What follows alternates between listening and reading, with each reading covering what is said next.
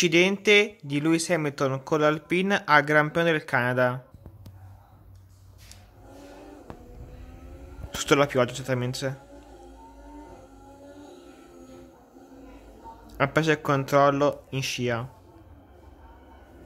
Adesso la telecronaca fatta da me. Attenzione, Hamilton sotto la pioggia in scia a Nikita Mazepin. Uh, l'ha persa! L'ha persa, no! Uh! Non tanto grave, ma no, quasi safety car. Anche se in gioco bandiera rossa ci stava. Safety car.